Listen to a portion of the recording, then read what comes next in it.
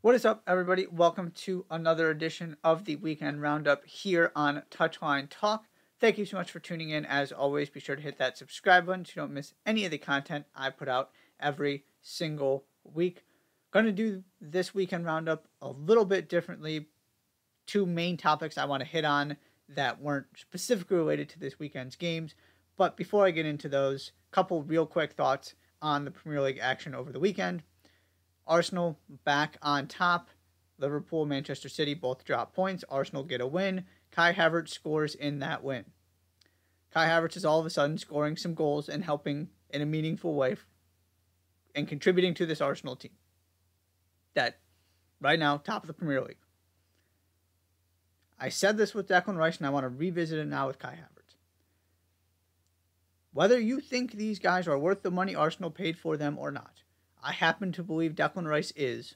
I'm still not convinced Havertz is. But whether you think they overpaid or not, if these guys are the difference between finishing second or third and winning the Premier League title, nobody is going to remember how much Arsenal paid for them. Declan Rice has been very good.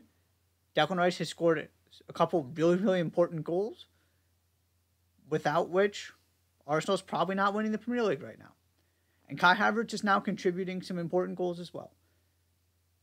It doesn't mean he's all of a sudden actually worth what Arsenal paid and is living up to his full potential. But Mikel Arteta saw something and is getting something out of him now. His confidence is actually starting to return. He's looking like somebody who can play an important role for this team.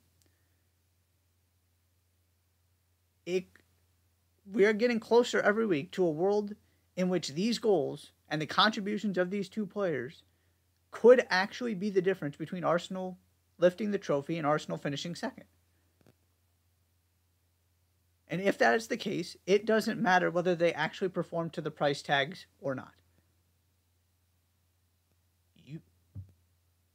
This team needed to be elevated. They needed to find ways to bring in additional players to take one more step if they were really going to challenge for the title. They ran out of gas last season. They didn't have the depth they needed. Jurrien Timber was also supposed to be part of that. Obviously, he got injured really, really early. So basically, it's these two guys that are supposed to be the difference makers. And so far, they have both made a difference. How much of a difference ultimately still have to be decided to de- be still to be determined. But they are contributing. Don't get caught up in the price tags. Nobody is going to be worried about that if they're playing a big part and have some defining moments, which they've already had, to a team that goes on and wins the Premier League. It just doesn't matter whether they overpaid or not. If that's the difference, you pay whatever price you need to. The second thing, one of the big news stories, very scary, Tom Lockyer collapsing during Luton Town's game with Bournemouth. The game then rightly is postponed and, and halted. First of all, bravo to everybody for prioritizing the right things here. Of course, it was a fairly easy decision, but still got to give credit and I want to acknowledge that the medical personnel did a great job immediately stepping up. Luton Town has said that Lockyer went into cardiac arrest and is now stable in the hospital. Terrific news. They were able to help. That's obviously the most important thing is Lockyer's physical health. But also not making players go and then finish this game. The mental health side of this for everybody else who was on the field for all of these Luton Town players who have now seen this happen twice in the span of less than seven months to Tom Lockyer. So it was reassuring to see the right things being prioritized here. We don't know exactly what happened. I don't want to sit here and speculate or say that these two incidents are connected because I haven't seen anything that actually suggest that's the case. But Tom Lockyer collapsed. He then underwent a heart procedure, was given the all clear. and then went into cardiac arrest on the field for the second time in 2023. There are obviously questions that need to be answered and hopefully the the tests and things that are being run by the medical professionals right now are going to give some answers to this to these questions of why did this happen again? Because it was not supposed to. Nobody was talking about some kind of added risk because of the the first incident and the procedure that Lockyer underwent. That was supposed to fix it. Again maybe they're completely unrelated and it's just a terrible coincidence and a terrible series of events. Speculation doesn't help anything. So I'm just going to leave it at that, that I hope both for Lockyer and him moving forward as he makes decisions about next steps and just as a athletic community that is still trying to learn more about these things, why they happen, how to prevent them, that some clear answers are forthcoming that help Lockyer make better decisions that help everybody in the medical world make better decisions when it comes to the health of athletes. So thankfully, he is stable.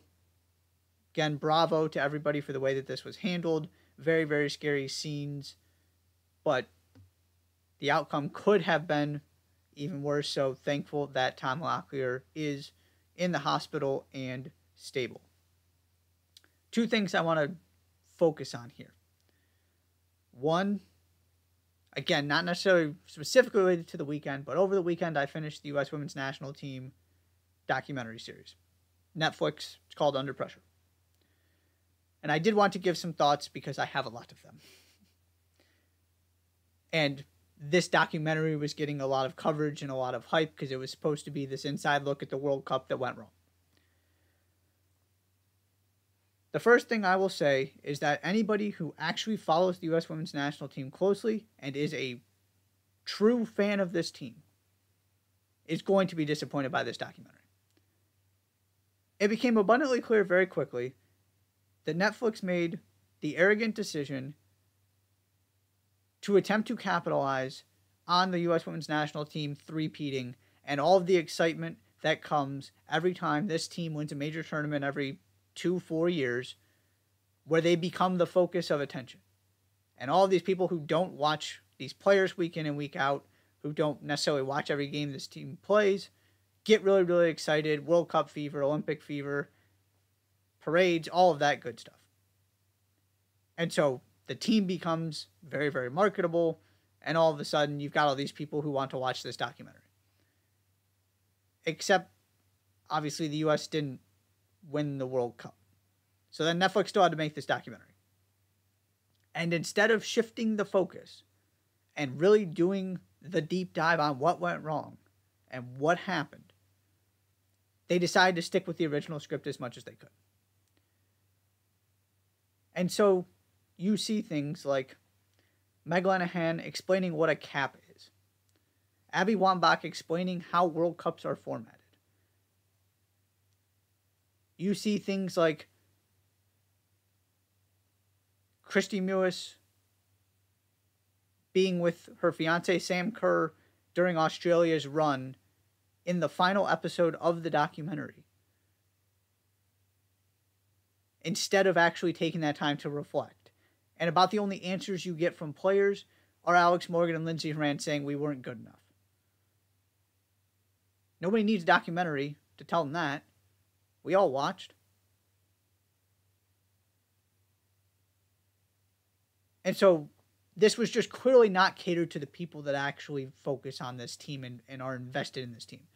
This was catered to the people that are going to that come in every couple years, watch the major tournaments, get all excited about the team and want to learn more about these players. And that's fine. But it was this missed opportunity to really investigate and actually ask the hard questions.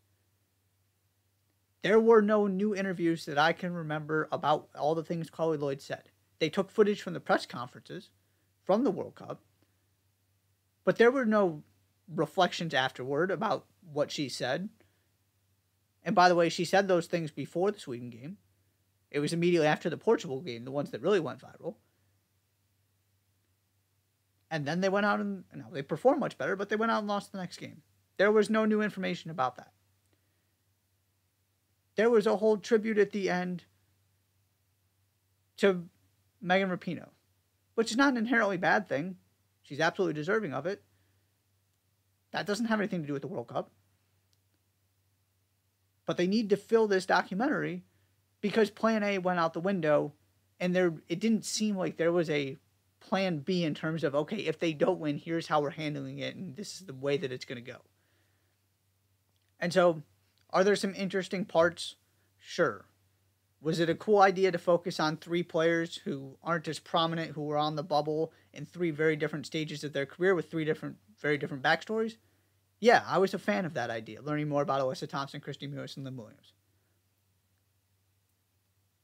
But if you're coming into this expecting to actually learn about the inner workings of this team, what went on at the World Cup,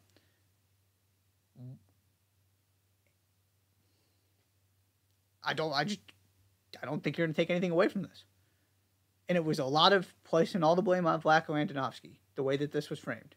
And I certainly have my criticisms. Also, the players were still on the field and couldn't score against Portugal and played that poorly and survived by the width of the post to even get to the group to get to the knockout stage. So I was incredibly disappointed. There was a real opportunity here to do a deep dive. And of course, it's going to be harder to sell that than to, hey, we want to celebrate you winning another World Cup. But it, to me, it was very, very underwhelming. So I wanted to to give those thoughts, maybe warn some people. This is this is not for you if you are truly invested in this team. This is for the casual fan, and that that's not inherently a bad thing. But we do need to call it what it is. And it was an attempt to capitalize on a three-peat when everybody was going to be talking about them, and then that three-peat didn't happen, and it just seemed like Netflix didn't know what to do after that. The second thing on Friday, Major League Soccer announced that its teams will not be participating in the 2024 Lamar Hunt U.S. Open Cup. The announcement basically cited fixture congestion as the reason why. Which is a valid issue. LAFC should not, I think it was 53 games this season. LAFC should not be playing that many games. Just like Liverpool and Manchester City should not be playing as many games as they do when they're fighting on four fronts and going to the Club World Cup. The you know Philadelphia Union going to the semifinals of the Leagues Cup, getting to the playoffs, playing in CONCACAF Champions League, getting to the semifinals. Too many games. 100%.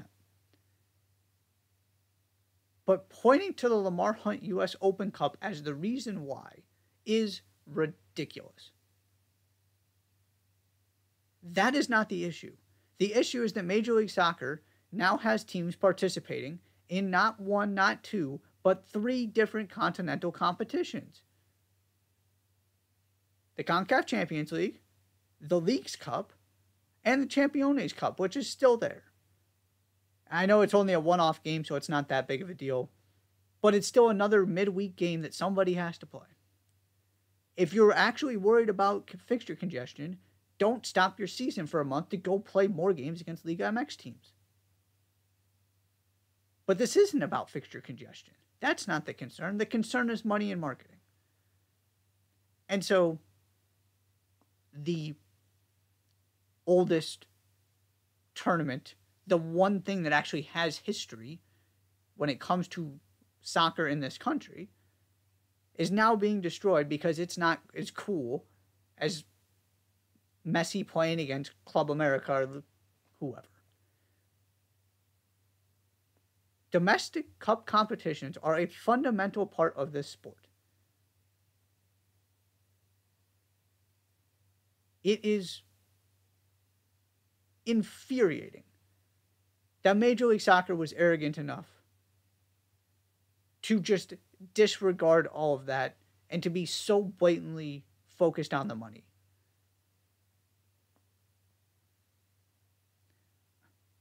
Number one, some of your teams came from this tournament, specifically FC Cincinnati.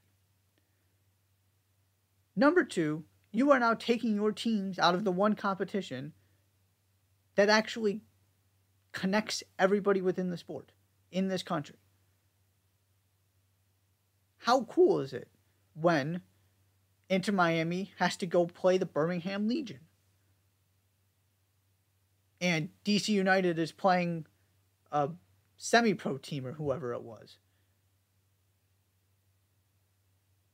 And oh, by the way, do the starters play in those games? No, they don't. So you're not even actually reducing the amount of games that the most important players on these teams play.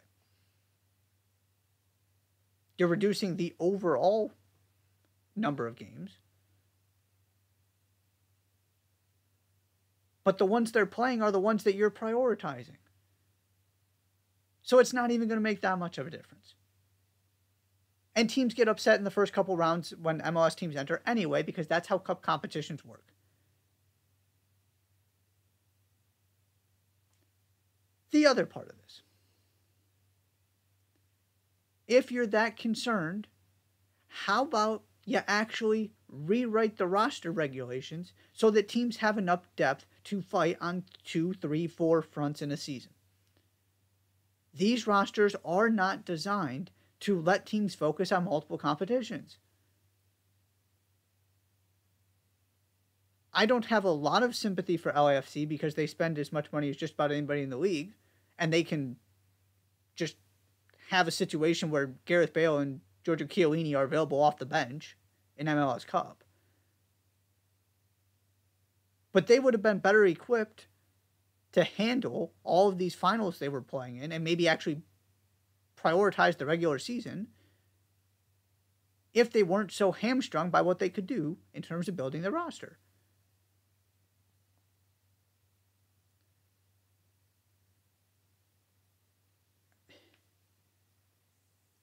That's the other there are multiple ways to fix this. None of them have anything to do with the Open Cup. But like I said, it's not about actually fixing the problem because that's not the problem. The problem is that the Open Cup isn't making enough money, it's not generating enough interest.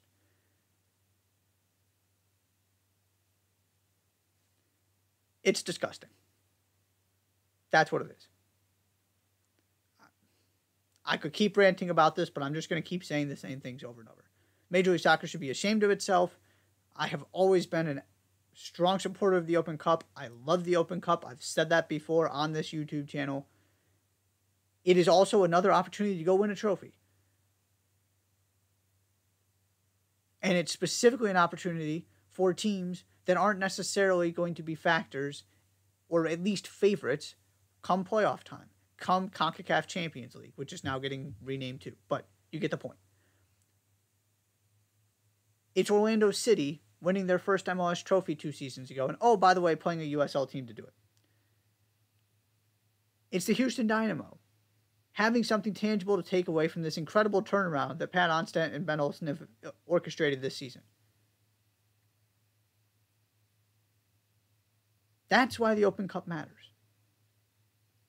It matters because it's the community tournament. It's the one where everybody has a chance.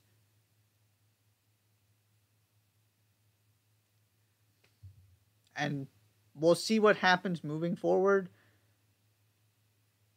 But I don't I don't see them allowing teams to re-enter. They're only going to find more ways to stick more games in there against Liga MX teams, especially when Messi's here. It's disgusting. That's where I'm going to leave it.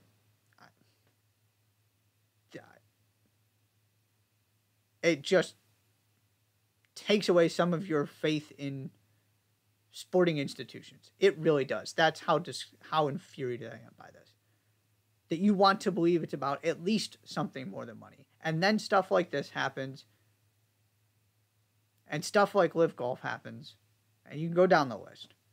And you it's just this cold, harsh reminder that ultimately people can say whatever they want, but at the end of the day, not only is money prioritized, but people are willing to give up an awful lot in order to make a little bit more of it. And now the U.S. soccer community, the Open Cup, USL teams that don't get to play MLS teams, MLS squad players, and the teams themselves are paying the price because they don't get to go compete for this awesome trophy with all of these really cool stories that instead of giving up on, maybe MLS should have done a better job marketing. That is all for this edition of the Weekend Roundup. Thank you so much for tuning in. Be sure to hit the subscribe button, and I will see you next time.